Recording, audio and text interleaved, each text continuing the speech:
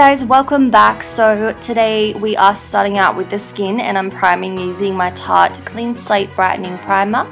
Then for foundation, I'm going in with the Kat Von D Lock-It Foundation. This one is so full coverage as you can see, like look at that coverage. It is absolutely insanely full coverage and it lasts a really, really long time on my skin. So I absolutely love it and it is a pretty good match for my skin tone as well. Then I'm going in with my LA Girl Pro Concealer in the shade Medium Bisque, I think it is. It will be listed down below along with everything else. But I'm using this one to contour my face. So I'm just squeezing some product out and just basically putting it in all of the areas that I want to hollow out and sort of add some shape to my face. So just applying that using the little brush on the end of the product and then I'm going in with my Sigma F57 emphasized contour brush which is amazing for blending out cream contour and I'm just basically stippling and blending this into my skin.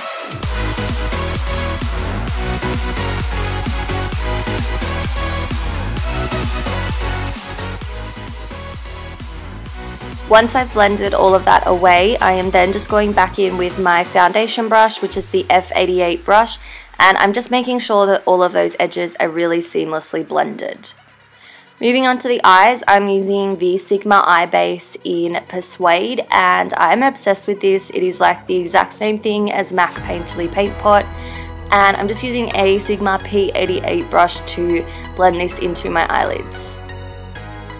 Then we're dipping into the Copper Spice palette from Morphe and I'm first taking this skin tone shade and I'm just setting my entire eyelid from the brow to the lash line and I'm just using an E52 brush to do so.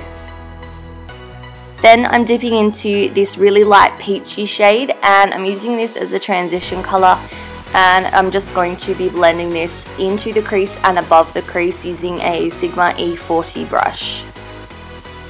Then I'm picking up the shade next to that one and it is a very, very peachy orangey shade. I absolutely adore this color. It's one of my favorite colors in the entire palette and I'm just doing the exact same thing. As you can see, I'm being pretty messy, but we will clean up the edges a little bit later anyway.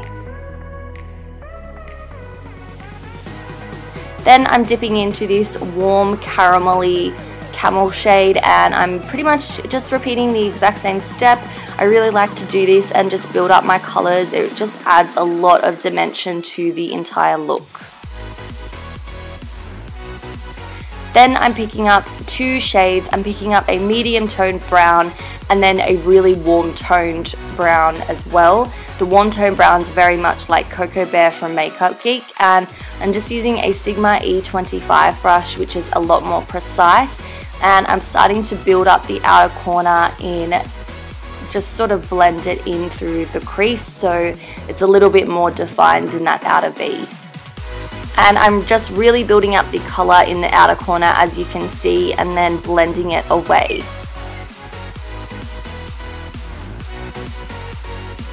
Then I'm dipping into another warm toned brown but it's a little bit cooler. I don't know, these colours don't have names so it's a little bit hard to describe them all but I'm just going into this color and doing the same thing, building it up in the outer corner and then dragging the excess product right in through the crease. And I am bringing the color all the way into the inner corner as well. Then on a Sigma E45 brush, I am picking up the black shade from the palette, which is so super pigmented and black. I mean, all of the colors are pigmented, but this one is really good.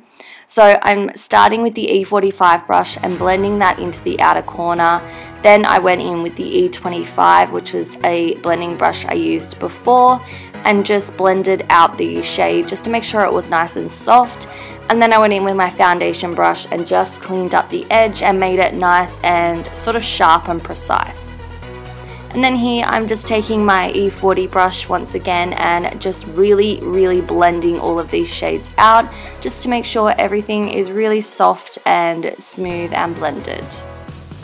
Then I'm taking this gorgeous copper shade on my finger and I'm just starting to press this into the lid and I'm bringing this pretty much all the way over the lid So from the inner corner right until where I've got the black shade. Then I'm just going back in with my E25 brush and I'm just making sure that those shades are blended very, very seamlessly. Then I'm picking up the shade next to the copper, which is this gorgeous foiled gold shade. And I'm just pretty much placing this in the center of the lid and then bringing it in towards the inner corner. So that it's kind of a mix between a copper and gold color. Then I just took the black shade once again on an E15 brush, which is a flat definer brush. And I'm basically just creating a liner look on the lash line but without obviously using eyeliner. It's a lot softer.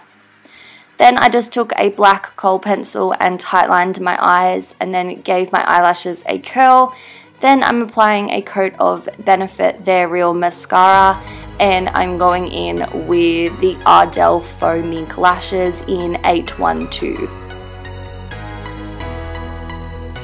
Now guys, I really don't know what is up with my camera, but it skipped my entire concealer and my setting powder, but you guys have seen me do that a million times, so I'll just list down below what I used. Anyway, I am using the Makeup Geek contour pan in the shade Bad Habit, and I'm just using an F05 brush to carve out my cheekbones and then place some of that color around my hairline and my temples um, underneath my jawline and I really like contoured my jaw today which I don't normally do but I liked the way it looked so yeah Then for blush, I'm taking the Balm's Hot Mama blush and I'm using my F37 brush just to buff this onto my cheekbones and then blend it back. Then to highlight my cheekbones, I'm taking this new highlighter I've got from Sheridan Cosmetics, which is an Australian brand. I just sprayed my F03 brush with some Fix Plus, and then as you can see, it is so intensely pigmented. I absolutely adore this highlighter. It's absolutely gorgeous.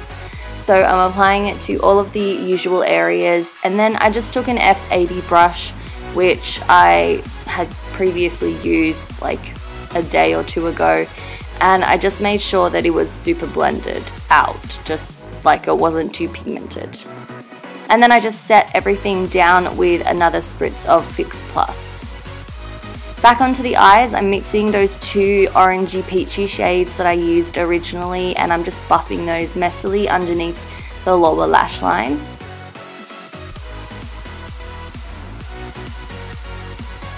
Then I'm taking that really warm toned brown that's similar to Cocoa Bear and just using the same E40 brush I'm doing the same thing just messily blending it in under the lash line. Then I picked up the black on my E45 brush and I just did pretty much the same thing and I did bring it all the way into the inner corner because I wanted it to be pretty smoky on the lower lash line. But then I did blend everything again with an E25 brush just to make sure, you know, things were blended. Then picking up the copper shade on an E46 inner, shade, inner corner shader brush. I'm just applying some of that to the lower lash line on the outer third and then going in with the gold sort of on the more inner third of the lower lash line.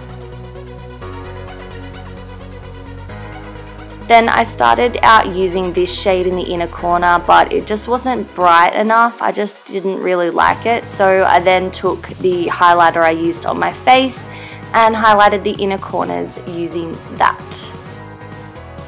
Then I just took my black kohl once again and lined my waterline and applied some lower lash mascara to finish out the eyes. Then to complete the look, I went in with a lip liner from Models Prefer. It's in the shade Always Nude and I just lined my lips and then filled them in with the same lip liner.